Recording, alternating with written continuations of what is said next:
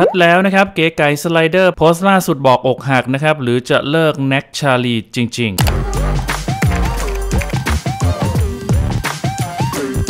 ดูท่าจะไปต่อไม่ไหวซะแล้วนะฮะสำหรับความรักของยูทูบเบอร์สาวเก๋ไก๋สไลเดอร์กับนักแสดงหนุ่มแน็กชาลีนะฮะหลังมีการ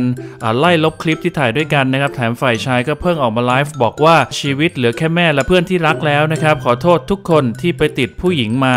ล่าสุดนะครับ 1 ตุลาคมส่องอินสตาแกรมของอเก๋ไก๋นะฮะ ก็พบว่าเจ้าตัวได้ออกมาโพสต์คลิปนะครับ เมื่อคนติดตลกต้องมาอกหัก ที่เป็นลิงกำลังทำท่าเศร้านะครับ แต่ฟังเพลงตลกพร้อมแคปชั่นว่า แล้วทำไมต้องมาเจอคลิปแบบนี้ แล้วเด็กคนหนึ่งจะไปทำอะไรได้ นอกจากทำสมาธินะฮะแล้วก็มีอีโมจิร้องไห้นะครับงานนี้ก็เหมือนกับเป็นการตอกย้ำได้เลยทีเดียวนะครับ ว่าข่าวการเลิกลากันนั้นเป็นความจริง ขอขอบคุณข้อมูลดีๆจากกระปุก .com นะครับและขอขอบคุณเพื่อนผู้ติดตามด้วยนะครับ